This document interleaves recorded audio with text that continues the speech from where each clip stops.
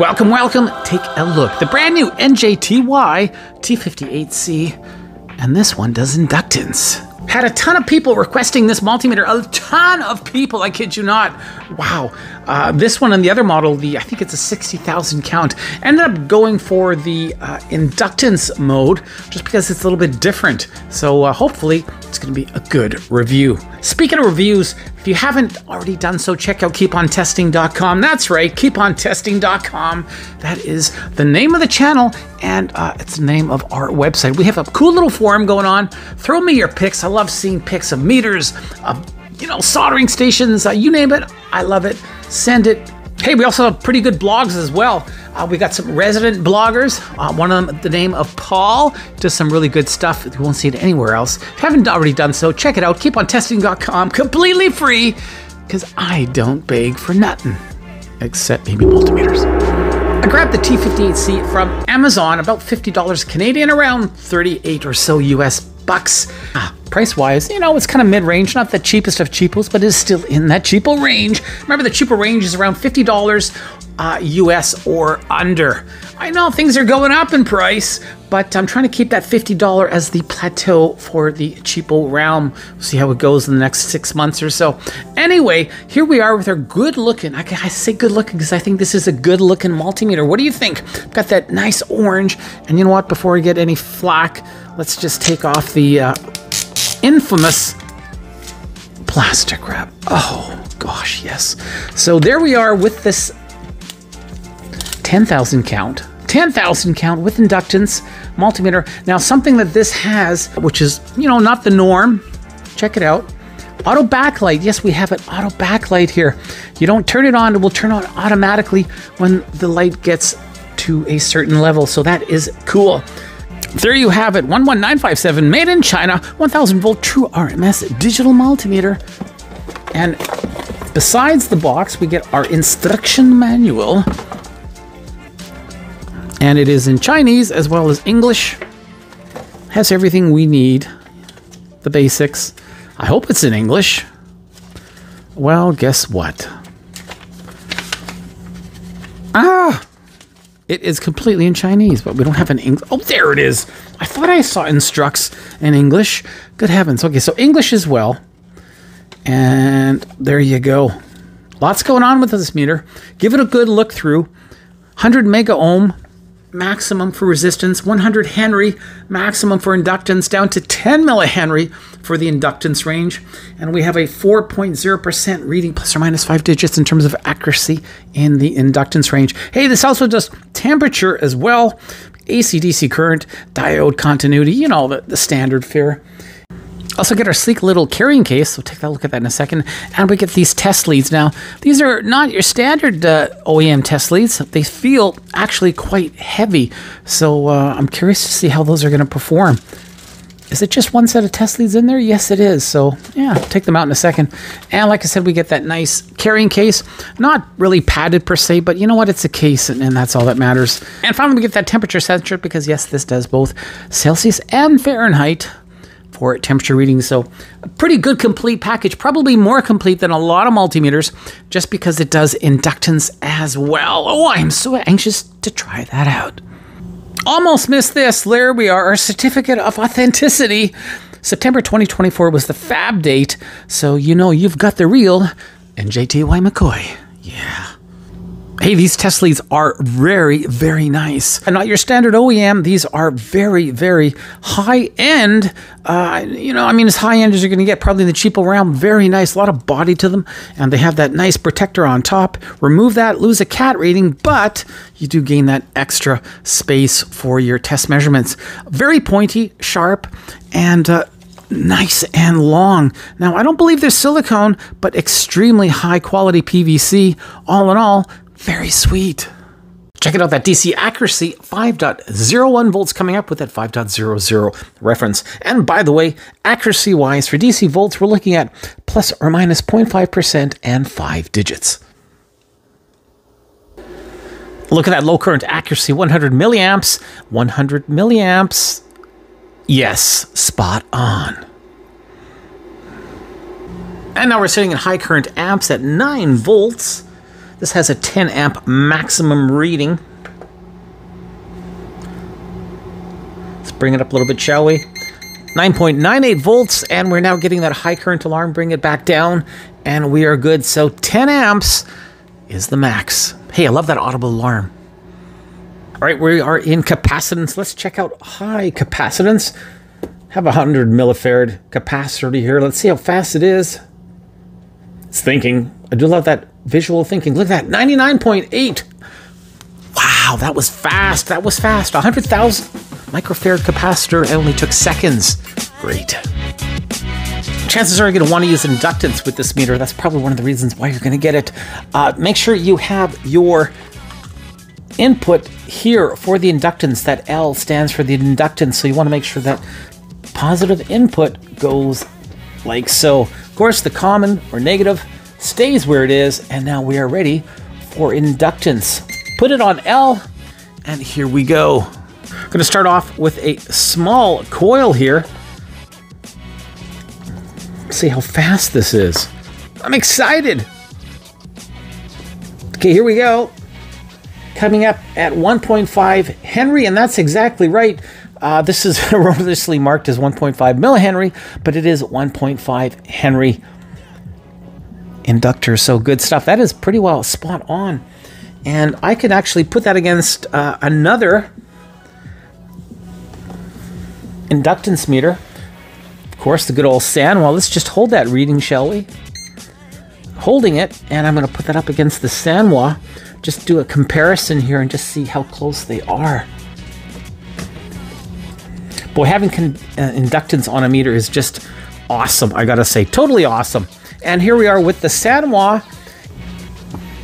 So 1,532.4 millihenry equals about 1.5 Henry. And look at that, 1.48 Henry for the NJTY. Uh, quick converter there. So yeah, awfully close. And let's not forget the price point here. We're talking an expensive Sanwa LCR meter compared to a El Cheapo multimeter that does inductance. Ooh, love it. So in case you're wondering, this goes from 10 millihenry all the way up to 100 Henry. That is our inductance range right there. Let's try another inductor. I got a whole box of them here. Here I have a really low inductor. This is a 1 millihenry inductor coming up in the Sanwa as just over 1003 microhenry. And check that out. 1 millihenry coming up 1.05 Awesome. Awesome. So this has definitely got that accuracy uh, even at the lower level of inductance. And it's actually besting the spec because it's technically it's only supposed to be going down to 10 millihenry. So, ooh, I like it. 2.2 millihenry on the Sanwa, coming in at 2.16 on the NJTY. Finally, 3.3 millihenry coming in at 3.25 on the NJTY coming in at 3.3. So there you go. Once again, awfully close, uber expensive, El Cheapo, this guy is definitely holding its own. And who doesn't like a third opinion? Brand new from ZOYI, ZOYI ZT DQ02, full review coming soon, and 3.19 coming up for the ZOYI LCR meter, or 3.2. There you go. Full review coming soon on this guy. Hey, they are all definitely right around the same ballpark. Picture's worth a thousand words. I think it's worth a thousand and one. There you go. All these meters, different shapes, different sizes. Big fluke. Hey, that NJTY compared to that fluke it's sitting up against, it's still fairly big. And look at that tiny little AstroAI. By the way, this was an uber popular review. Oh my God, one of my most popular. And that tiny little ZOYI over here on the far right. So it is definitely a good size meter. Not a pocket size though. One thing I'm really liking with this NJTY meter is that selector switch. Oh yeah, it just feels like a million bucks. Honestly, you can't have a nicer feeling selector. Smooth to groove, hits those ranges with authority. Nice clickety click, clackety clack. Now you do have that annoying beep. That's the only thing, and there's no way to disable it. But it sure is a darn nice selector. AC volts right now 119.6 volts AC and this is true RMS. Another cool thing with this is the fact that we have that frequency at the top uh, 60 hertz, which is really nice. Now, check this out. We have that red, glowing little red at the top. You see this over here? That's just to let you know you're in danger mode, so to speak. So that is uh, interesting. Once again, 120 volts AC and bada boom, bada bing, we get that awesome reading as well as that red LED, letting us know we are in high voltage. That dual uh, screen readout here at the top, not much you can do. Right now we're sitting there with our ambient temperature, but if I hit that uh, function button, can't change it. So really, you know, you are limited in what you're going to see with that dual display. But that being said, at least it's something. All right, now we are in continuity. Here we go. Stock default test probes, three, two, one.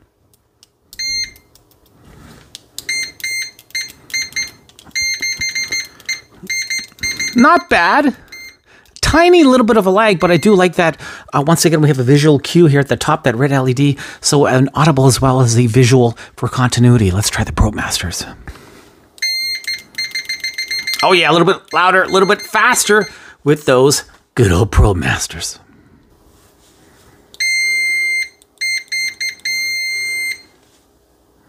Seventy-seven point five decibels, maximum output in continuity, and that, my friends, is pretty darn loud. And just so you know, that ambient temperature sensor is showing us 20 degrees Celsius, coming at at 19.7 or 19.6 on the Fluke IR thermometer. So accuracy it is. Hey, all in all, thus far, I gotta say I am impressed with this NJTY. This is a really sweet meter. Does basically everything uh, without breaking the bank. Let's take a look on the inside. Already teardown time, here we go. Look at that clean PCB. What a great looking uh, main board we've got here. Clean, clean, clean, no flux whatsoever. Traces all nicely done. By the way, here's the other side of the meter where the battery housing is. Not too much going on and no shielding. This particular IC comes from Hangzhou uh, Microelectronics, a company that manufactures digital multimeter ICs uh, galore. Uh, these integrated circuits are used to implement the core functionality of uh, any digital multimeter. And right beside that on the top there, that's the SD8107, that's a 20 bit ADC uh, analog to digital converter. Uh, that has, I believe, 8 kilobytes of uh, OTP memory, and uh, once again, a really nice chip. There are the fuses. Look at those two tiny little 5x20 fuses for the milliamps as well as the high current. And there are those input jacks as well, split variety. Uh, seeing those all the time. Nice and clean though, once again. Now, if you notice, take a good hard look. Yeah, we don't have a current shunt per se. We have a current sensing resistor, but not a current shunt. Let's go in a little bit closer. Here we are just a little bit closer now. Once again, there's that main multimeter IC right there. And uh, that's a pretty new one. It's hard to get any uh, data sheet on this particular chip. And right beside it, like I said, there's the 8107, that 20-bit uh, analog to digital converter. Closer up now for those 5x20 fuses. Man, those are small. It's a good thing you get a couple extras with the meter. Split variety jacks, like I mentioned, and that tiny little current uh, shunt resistor. And but look at that nice spark gap protection going on there. One lonely PTC boy input protection, nothing great. One of the really cool features with this meter is the fact that you've got those input lead uh, signals. Basically, it's going to tell you where to put those test leads in case you're not sure. Let's uh, switch this on to inductance, for instance. So right away, it's telling you that inductance will go there. That's where you put your test lead to read inductance. Now, if you want to switch over to, let's say, current, aha, you got to move that test lead over here. So this sort of verbose kind of, you know, this is where you got to put it. This could be useful not just for newbies, but for pros as well, because believe you me, sometimes we forget, and we all do. And, you know, it's nice to have a second set of eyes. Already quick look now at diode, light emitting diodes and regular diodes. Here we go, starting off with standard diode have that forward voltage drop. We do not, however, have that nice audible beep.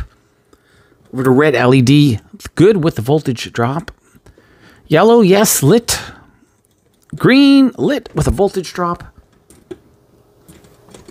And same thing for the blue and the white. Excellent. Hey, look at that. Almost 4 volts, 3.91 volts, maximum output voltage in diode mode. Now we're looking at NCV non-contact voltage, and when you put it in NCV mode, there we are coming up with EF.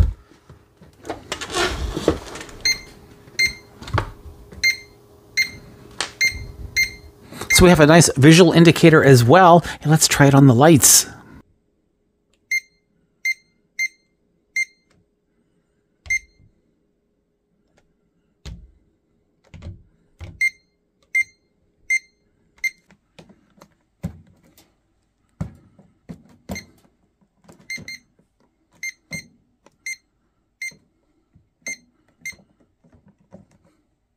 Those tiny little fuses are 5 by 20. Yes, they are tiny 5 by 20 millimeter fuses, and they do give you an extra set shipping with the meter. Like so. Hey, that's kind of cool. And look at that easy breezy access to those fuses, both the high current and low current right there. Three AAAs are what powers this bad boy, all easily accessible. Closing thoughts the NJTY T58C Oh, I recommend this multimeter. Not only is it functional, not only does it do what you need it to do, but it also does inductance, something that you rarely see in multimeters at any price point. And it does a really good job. Hey, I put this up against some of the big names and it could hold its own.